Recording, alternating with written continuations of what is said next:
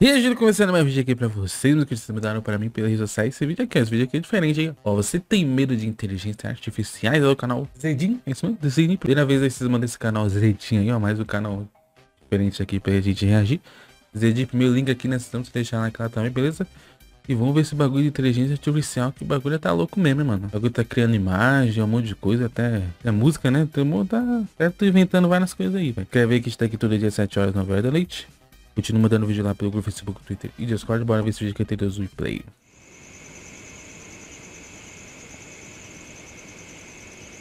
Chat GPT, né, mano? muito mais visível tá da hora também na sua frente. E recentemente, ter uma máquina criando algo por conta própria chegou ao centro dos holofotes de uma maneira bem assustadora. Bem-vindos ao mundo das inteligências artificiais, um lugar onde a linha entre o real ah, e o virtual se confunde e onde o medo e a incerteza tomam conta de nossos o lugar amarelo pensa Neste vídeo de terror, vocês serão levados para um mundo onde a tecnologia se tornou a fonte do medo e onde máquinas pensantes ameaçam nossa própria existência.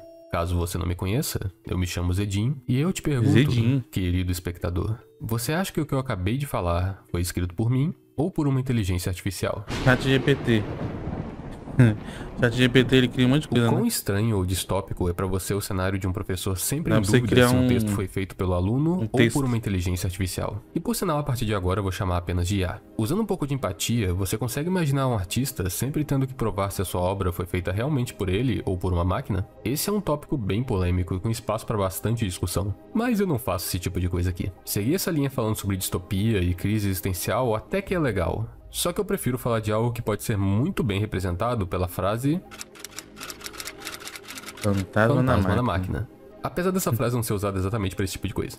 Bem na sua frente, existe algo com a capacidade de criar uma imagem sobre qualquer coisa que você consegue imaginar. De pesquisas a pesquisas, chega uma hora que alguém vai se interessar em ver algo que não é visível. Como você imagina o inferno? Algo com fogo para todo lado, pessoas sofrendo, demônios, ou talvez algo mais pessoal?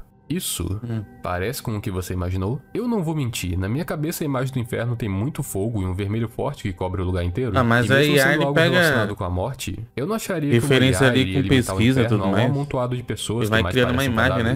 Essa resposta diferente vinda da IA criou dúvida, curiosidade e principalmente medo. O motivo disso é que quando surge uma resposta diferente de algo que já achávamos que possuía um padrão ou pelo menos uma forma concreta, também surgem questionamentos. Como que uma máquina sabe da aparência real do inferno? Isso é o que algumas pessoas pensaram, e por conta desse tipo é, de pela, pensamento, pela, pela internet, né, mano? Para. Essa inteligência artificial sabe de Google algo ali, que não coisas. sabemos.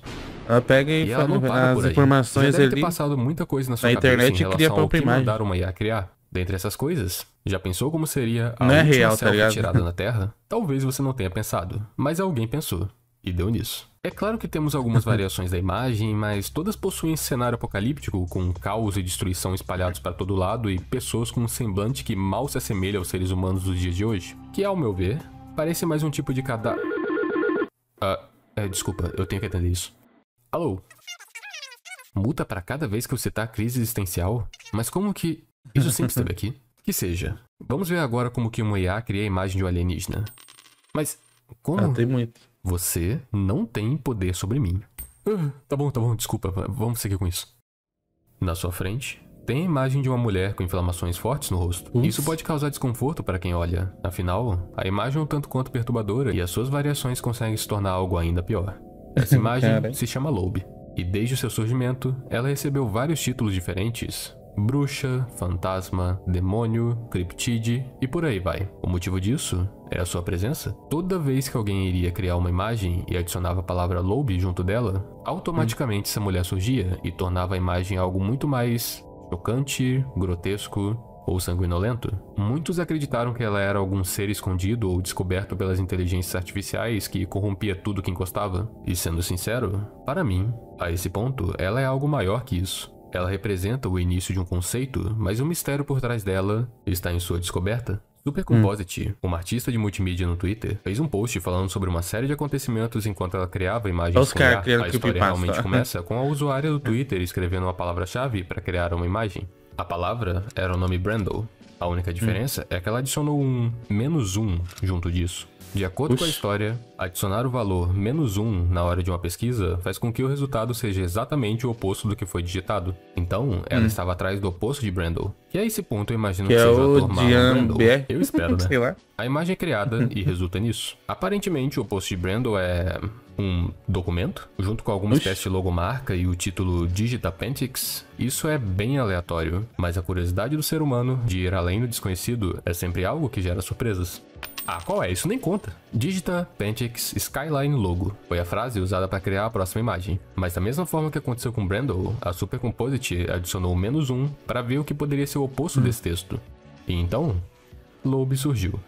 Apenas uma imagem de algo estranho não é o suficiente para criar toda essa repercussão e medo que essa imagem criou. Afinal, ela não é o primeiro exemplo de uma pessoa estranha criada por uma máquina. Na verdade, é bem comum uma IA não saber como montar o rosto um humano e dar essa sensação enervante para a figura. Fora que já existem alguns outros exemplos de imagens bizarras que viralizaram, como a imagem da última selfie que eu mostrei anteriormente. Mas o que assustou as pessoas de verdade foi na hora de combinar a imagem da Lobe junto de outras imagens criadas por né? inteligências Sim. artificiais.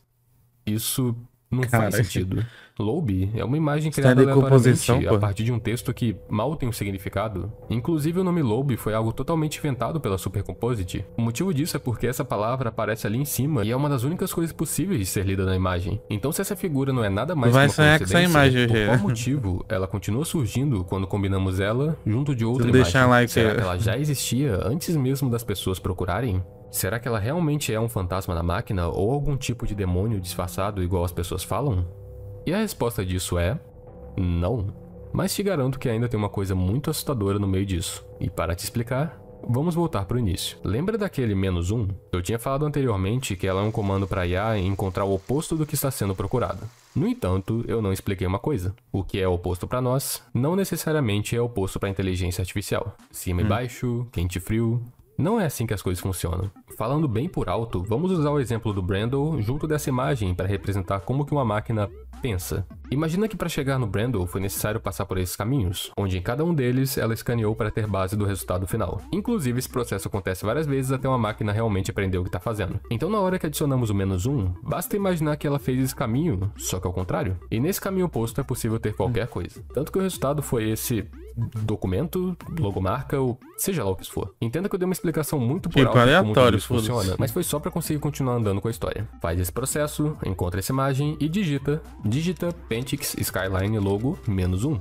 Mesmo que essa frase pareça representar exatamente essa imagem, não é assim que as coisas funcionam. Considera que esse é um texto totalmente novo, com um resultado oposto totalmente novo. E assim, Lobe foi achada. Agora vem algo que é mais a minha suposição. A Lobe ficou viral por conta de como ela corrompia toda imagem que ela era posta, sempre com uma temática medonha ou violenta. Mas para algo assim ser possível, a máquina deveria já ter uma noção do significado por trás de Lobe. E isso nunca aconteceria se ela tivesse sido apenas encontrada do nada. Mas muito provavelmente, a própria Supercomposite, ou seja lá quem foi o primeiro a descobrir e moldar a Lobe, adicionou palavras-chave a ela. Para isso dar certo e Lobe se tornar um conceito assustador reconhecido pela IA, seria necessário um bom tempo com alguém criando imagens dela e sempre relacionando com terror enquanto tentava manter essa aparência perturbadora.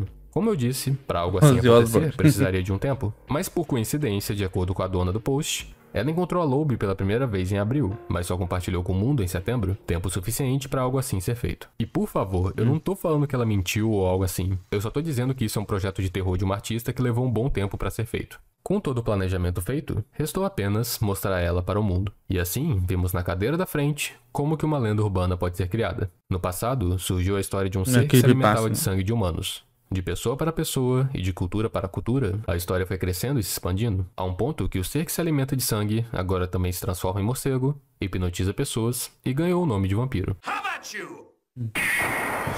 Lobe cresceu da mesma forma. A cada impressão que ela causava em pessoas diferentes, e com mais usuários tentando invocar ela, mais ela crescia, mais ela se espalhava e mais ela se tornou um conceito.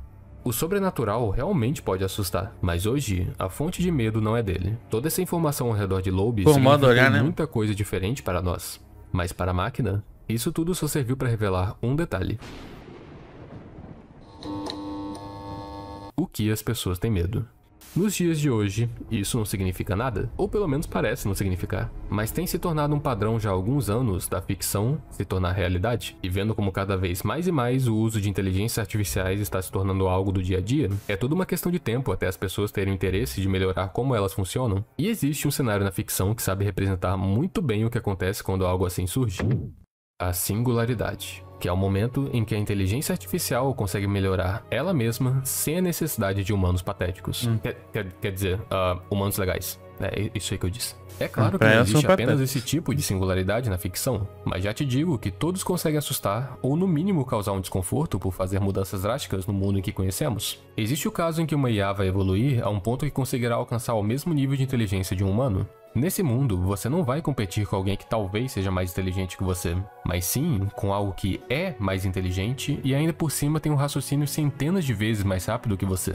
E histórias assim já partiram para abordagens muito diferentes. Situações onde as máquinas superam os humanos na evolução, cenários de conflitos onde humanos e máquinas não conseguem viver juntos, e até mesmo algo mais pacífico, Atomic com todos vivendo juntos sem problemas e se tornando no geral, uma sociedade mais pacífica. E na verdade é bem chato. Mas o próximo caso de singularidade, além de ser bem mais legal, é bem mais popular e chama muito mais atenção. Os humanos perderam para a máquina. Uma inteligência artificial evoluiu a um ponto que ela é capaz de melhorar a si mesma sem a ajuda de humanos, tornando eles descartáveis. Tem muitos exemplos para esse tipo de história, mas independente de qual citaria aqui, todos resultam na mesma coisa. E eu posso resumir toda a experiência ao redor disso com uma analogia. Por que as pessoas têm medo de fogo? Ele é incrivelmente útil até o momento que não está mais sob nosso controle. As pessoas reconhecem o potencial da IA de sair do controle, mas isso não torna algo menos útil. Toda a história da humanidade é sobre criar ferramentas é para nos libertar de realizar tarefas inferiores. As pessoas realmente superestimam o estado e o futuro dessas máquinas. O chat GPT e essas artes geradas por código são impressionantes, mas de longe elas já deixam claro que essas máquinas não possuem conhecimento real e não sabem nada sobre o mundo. Elas não conseguem raciocinar, elas não conseguem verdadeiramente criar, elas não conseguem refletir e elas apenas copiam nossa língua.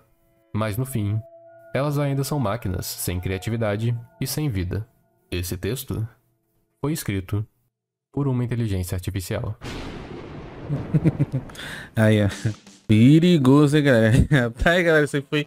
Você tem medo de inteligências artificiais no canal Zedin? Realmente o bagulho é doido, mano. Usa já os dois chat GPT para criar algum texto, alguma coisa, tá ligado? Hoje em dia, sim, principalmente criar imagens, tá ligado? Havia até vídeos, né? Eles, eles conseguem fazer com uma IA, você tá maluco? Acho que a gente não vai precisar que editar vídeo, vai precisar nem fazer esforço para fazer um texto, tá ligado? Uma... Fazer o Enem, foda-se. Você só vai lá entrar no chat GPT e já era, foda-se. Tá doido, mas tá aí, galera. Você foi o vídeo lá do Zedinho. Comenta se esse vídeo aí, continua mandando vídeo lá pelo grupo Facebook. Twitter e Discord em cima da programação no canal. Vou deixar outros vídeos aqui, continue assistindo e a gente se vê nos próximos vídeos. Mas, ó, mas antes de deixar like aí, senão o Lobo vai pegar vocês quando você estiver dormindo. Tamo junto, mas falou e tchau.